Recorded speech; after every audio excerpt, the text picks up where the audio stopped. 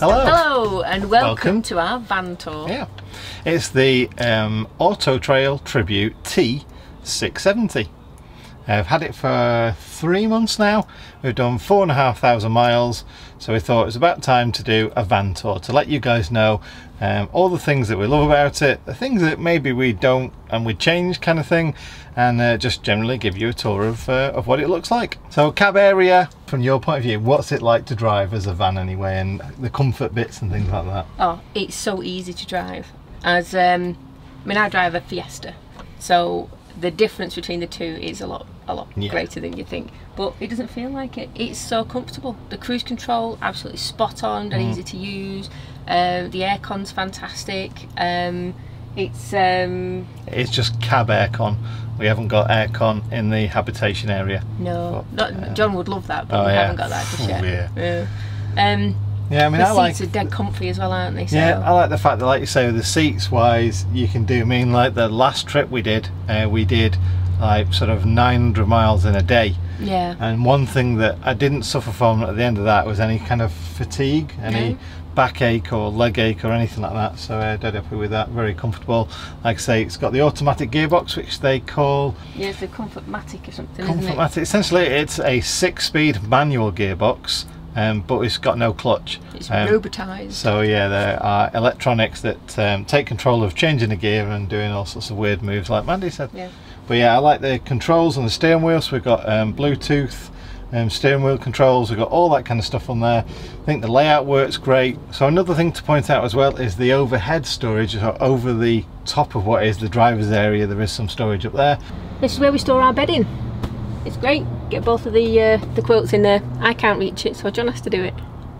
And then we've got this household um, thermal blinds or thermal curtains, curtains. yeah, uh, glued together. As you drop that at night, no one can see into the uh, habitation area, and um, it generally kind of like cuts out all those light issues. And also, if you use thermal blinds, you know, like the silver ones you stick to the windows, you get condensation in the morning. Whereas with this, you don't get anything Yeah, like that had at any all. problem with condensation. It's been great, Yeah, hasn't it? it's been yeah. good that. Um, yeah. And it also means that you don't smack your head on the bulkhead when you go through because this kind of like stops you from doing that.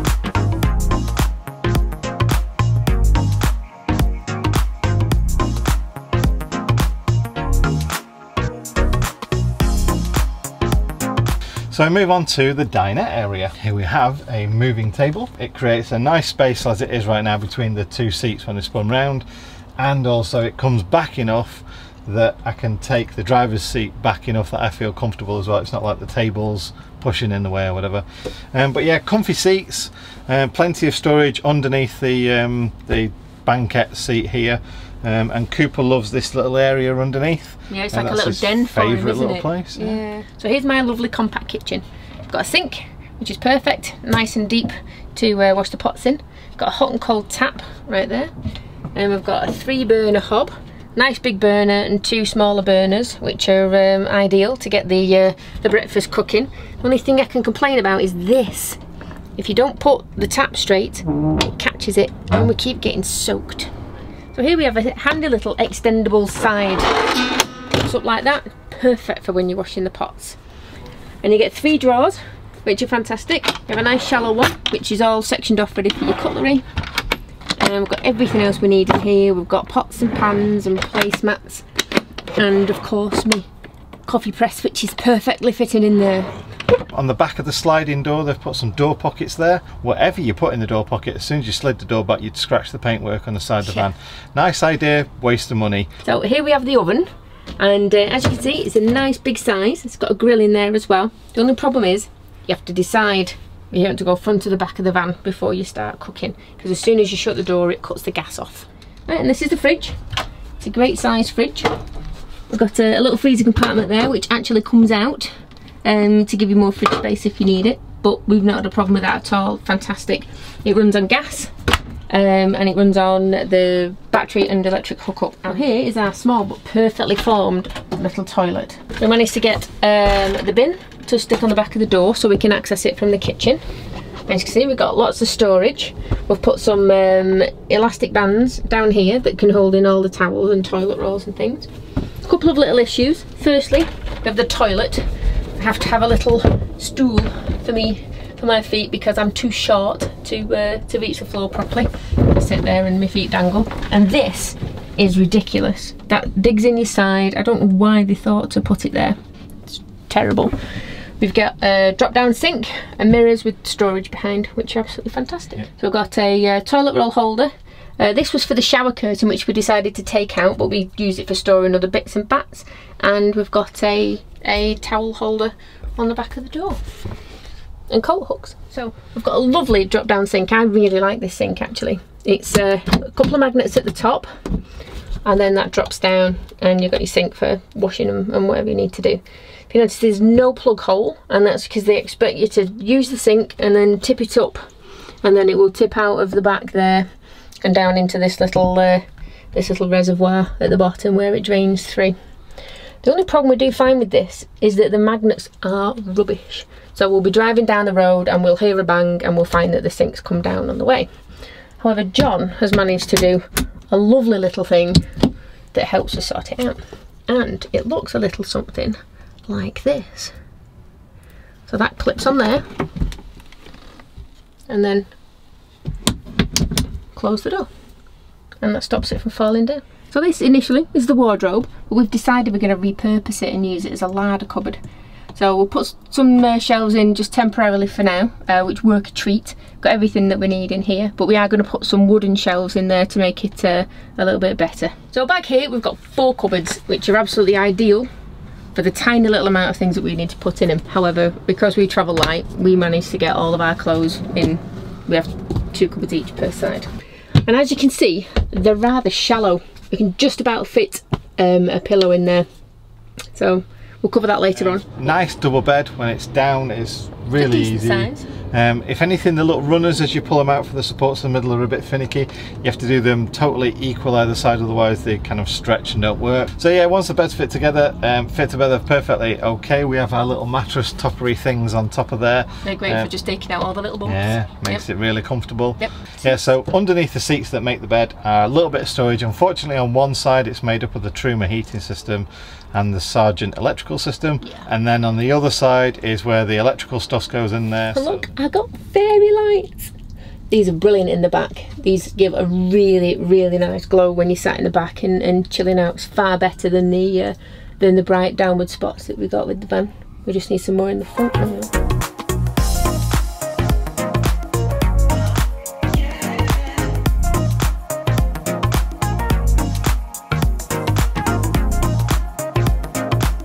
So as far as the van's blinds are concerned, every window's got these double blinds. It's like the pleated blackout blind uh, and then a pleated um, fly blind over the top of it as well. And they really do black out pretty damn well. Um, you do get a little bit of uh, light bleed from the edge there, but other than that, you know, they're I think perfectly they've okay. recessed nice and well, aren't they? Yeah. Be- better than the other one. So lighting wise, um, basically the front and the back have got two lighting areas. Toilet's got its own lighting and they're LED little spot lamps. Um, but on the floor, right at the front of the um, like the dining area when you walk in, there's some nice floor lights. There's a nice light bar at the back of the kitchen sort of worktop area. That gives out a nice light, that actually, doesn't it? it bounces off the back of the door at night and gives some nice light inside. Yeah. Uh, we've got um, toilet again's got some nice spotlights in there, and uh, on the outside we've got um, a nice light rail for you know sort of underneath the awning or just an outside light. So we understand that it's a budget van that we've bought here, so no complaints really about that. But there was one 12 volt socket in the entire van, uh, the habitation side of the van. So when you're stopped, that's the only power you get. Um, and no USB sockets. So the first thing I did was replace pretty much a lot of the electrics or rather I added, Added to, to them, a lot yeah, of the yeah. electrics. So if you want to see what I did, there's a video um, where we're up there, Oh, over there. up there, up there, up there. I think up there, yeah. Um, which talks about everything that I've added. So rather than telling you now, then I have added a lot of electrical stuff to it, batteries and outlets and all that kind of stuff. And it's brilliant. yeah, it does mean we get a lot more off-grid capability, and we also added a solar panel as well. Yes. So yeah, we had a good day fitting that Yeah. Interesting experience. Yeah. Um, and yet again, if you want to watch the video of that, that's up there. Um, so 12 volt system now is absolutely brilliant. Um, no qualms about going away for a week without ever wanting to plug in or anything like that. It No, works a treat. And I can charge my Kindle. You can charge your Kindle, and we're even talking about getting a kilowatt inverter, or rather a two and a half kilowatt, so that it runs at a um, constant kilowatt of power. So I can have my Nespresso machine. So she can have an espresso machine, because you know, coffee. Oh, coffee. Yeah. Enough said, I think. I need coffee. As far as the van's uh, basic kind of services, um, like you know water, gas, and loo, and all that kind of stuff, we pretty much covered straight away. I was really impressed with the spec. The base spec gave us gas Of gas, tank. yeah. Um, so I don't know if you know what gas it is. It's like LPG for cars, uh, but essentially you're just using it for heating and hot water and Cooking and cooking the and fridge. Um, and so far it's been fantastic. Every appliance is very efficient. Uh, water tank wise, we've got two water tanks, grey waste and fresh. Yep. And um, again, you know, like sort of 15 minutes of filling up at the tap and that's full. Toilet wise, um, great toilet, you know, the usual um, is it Thetford cassette kind of toilet system. Yeah, with wheels and a little handle on it, so that's really good. Easy enough to use, isn't it? Yep. Um, electric flush on there. So yeah, the other thing it came with as well was um, the hot water and blown air heating system, and that's been absolutely brilliant as well. Yeah. It's got a boost mode for hot water. What would you say, an hour?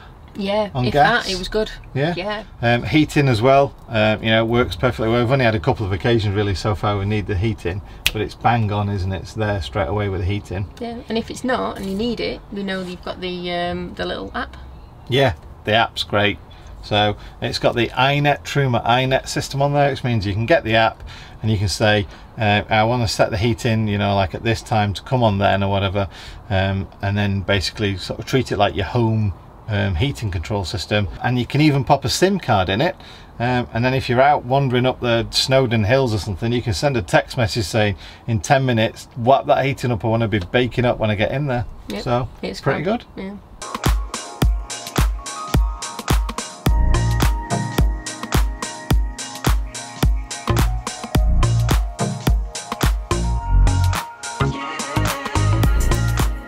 So now we move on to the critique part, which is what do we actually like about the van and, and what do we possibly think we could change? So move on to first things, what do we like about the van? This, This we do like the layout. like the layout, Yeah. like the layout, and I didn't think we would use a No. diner as much as we do. We pretty much live in this bit. We've potentially walked away or never even gone to look at caravans and other motorhomes because of this layout, mm. thinking it'd never work for us. We always went for the traditional um, kind of like, you know, two side Bench seats. bench seat kind of thing. But no, this layout is absolutely fantastic. Yep. This ability for us to eat, you know, it's one person either side. You've got a nice big table then, um, and with the side that pops out here as well, it creates quite a big space for you to have tea and snacks and put drinks and and all sorts of stuff. Really, it's nice Yeah. and comfy. It is really good. And then you can be doing stuff, you could have your laptop and have Yeah. enough room to read there. Mm. It's fantastic. So yeah, very happy about that. And the throughput through, um, you know, like the middle gets a bit tight, but again with this layout, you've got two um, seat belt seats. So there is some sort of like you know law that defines how wide a seat has to be, and that's created unfortunately a little pinch zone um, in the middle of the van. But you know it is what it is. It works well, and you do get the option of taking two people with you know seat belts. Yeah. And with the throughput as well, the ability to be able to walk through the side door and out through the back is fantastic. Yeah. And the airflow to get, if you want to cool down, to be able to fling open the doors is amazing. Yeah, all the other fact that I like about that, because we've had, like say, caravans and motorhomes that have been coach built, and then you've just got one door. Yeah. I know on the, um, the other motorhome, we could have potentially come in there and gone through that way, but it's just a bit of a faff. Whereas now we've got a huge door to come through here, the sliding door, and then if Mandy's cooking, like I say, we've got this pinch point here around the kitchen area because of the seat. So I need to get into the back or something like that, then I can just kind of go through the back doors and then like you know sit down there or get access to something else and pass it through or do whatever Yeah. so yeah it's absolutely That's one of my most favourite things, I must Yeah. admit, the, the, the doors on, on the van. Yeah the layout of it. So another thing i really like about it is like the finishings on the inside. Now as i've said it's a budget van you know it's sort of like essentially the very base model van that we bought almost. Um, but it's got kind of like leatherette soft furnishings to the side walls and the ceiling as well So it feels luxurious, it looks really nice, Yeah. but I'd imagine it cuts down on road noise and rattle noise and stuff like that as well, so that's something the else. a little bit. Bit of insulation as well for the old uh, cold temperatures that we'll no doubt have Yeah. when normal weather resumes back in the UK. and then what we'd change about the van, we've got to talk about that I guess. And I don't want to be negative and saying what I don't like about the van or what's wrong with the van, is what we would personally change because it's our preference. After, you know, four and a half thousand miles and three months, this is what we'd change in the van. Um, first of all, extraction fan um, in the loo yeah. and the loo being either lower or the floor being higher so that we didn't have to use the, the little stool thing and the removal removal totally or replacement of the shower tap Yeah. um, that's that bit overhead cupboards what do you They just need to come out by about another three inches. I'd say more I'd say 20 cent 10 to 20 centimeters which would almost make them like a third deeper so I'd say yeah definitely to to make these cupboards the overhead bins More um, usable. so yeah deeper Better use of cupboards. Yeah, deeper storage bins. That'd be a nice one. Yeah. Um, and I guess another one. light. Yeah, roof light. And I know we're probably talking about things now where you go, yeah, but it's a budget van you bought, John. Um, but yeah, I, I kind of get that. But yeah, roof light, a skylight, Heki, whatever you call them these days, at the front. Um, there's strangely enough a cutout on the top of the van where you could cut one out and sit it perfectly. It could be something that we maybe look at in the future as well, but that'd be something that definitely changed to add that Yeah, it'd be a nice addition to get a bit more to light, add light in light here, here. and to um, get some ventilation as well. Yeah, and I'd have somewhere to stick the fairy lights round. And you could stick a fairy lights around it as well. Bonus. And another point, you can't fill up the water when the side doors open. Or if I word that slightly differently, you can't open the side door when you're filling up with water. Um, basically, as soon as you open the side sliding door, um, it covers the water fill. Move that to the other side, folks, or move it back, you know, like 10 feet or something like that, um, just so that you can get inside the van when you're filling it with water. So after three months and four and a half thousand miles of use, I think it more than qualifies us to do a proper review of the van. And um, and hopefully that's what we've done. Hopefully, if you had any questions about this van, that we've answered them. If we haven't, ask down below. Um, but as far as we're concerned, um, panel van conversions, the larger panel van conversions, um, are certainly our preferred choice out of all the choices we've got out there. For the two of us, that probably at most would spend two weeks away at any one time. Yeah. So if you liked the video, please do give it a thumbs up. If you think there's anybody else that might be interested in it, do give it a share. And obviously, um, if you're not already and you like the content we come up with, please do consider subscribing. So until the next time, catch you again. See you later. Bye.